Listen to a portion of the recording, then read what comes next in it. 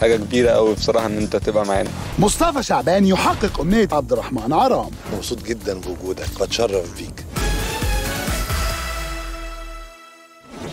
تعالوا نشوف مع بعض إزاي مصر بتتغير وإزاي قادرون باختلاف بتتغير في حياتنا. أهلا وسهلا بيكم مع سفراء الأحلام في قادرون باختلاف. اختاروني في الدورة اللي فاتت الح- الاحتفالية اللي فاتت. وقدمناها واختاروني برضو المرة دي. يعني بشوف ده من حسن حظي رزق حلو بصراحة.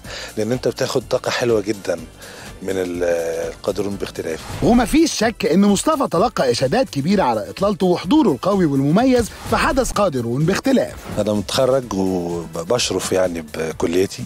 أنا متخرج من كلية إعلام جامعة القاهرة.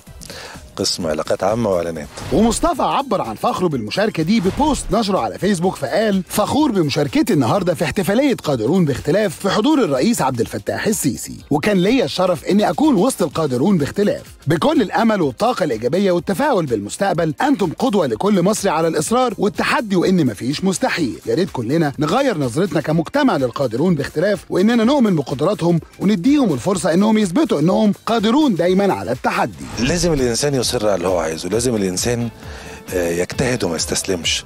ولازم لما الواحد ما ينجحش مرة ولا مرتين آه، مش معناه إن هو فشل لا لازم المرتين دول يبقوا هما الطاقة الحقيقية للنجاح اللي جاي التالت. ولأنه مؤمن بالكلام ده حب مصطفى إنه يدعم موهبة أصحاب الهمم وبلافته منه دعا عبد الرحمن عرام اللي شارك في الحدث عشان يحقق حلمه بعد ما أتمنى إنه يكون مذيع. فاستضافه في مزرعة الخيول الخاصة بيه وإي تي بالعربي شارك في اللحظة دي. فقام عبد الرحمن بدور المذيع وقابل مصطفى المكان ده بيمثل لك إيه يعني؟ بيعبر لك عن إيه؟ هنا أكتر مكان بالنسبة لي مريح وفيه طاقة إيجابية. الخيل بتدي لك طاقة إيجابية وأنت اللي مربيها وأنت اللي بتنتجها. فأنت عندك إحساس إن أنت بتشوف حاجة أنت فكرت فيها بتكبر قدامك. فبتحس ب- بطاقة حلوة جدا. حاجة بقى تكون من اللي عملتها قريبة من قلبك. يعني أنت لحد دلوقتي عملتها وبتتشرف بيها. إيه هي؟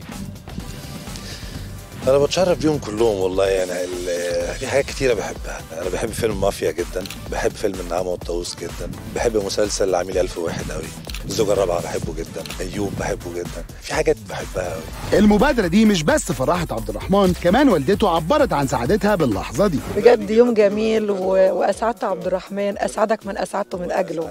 والله ربنا يخليك.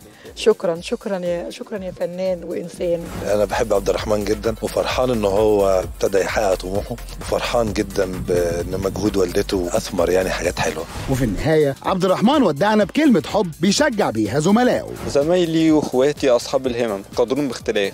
أنا دايما كنت بقول لهم إحنا أبطال وهنفضل أبطال. مش هنفضل ابدا اللي يجيبنا ورا. اللي يجيبنا ورا دوت هو اللي بيعطلنا ويجيب حاجات كتير قوي مش حلوة.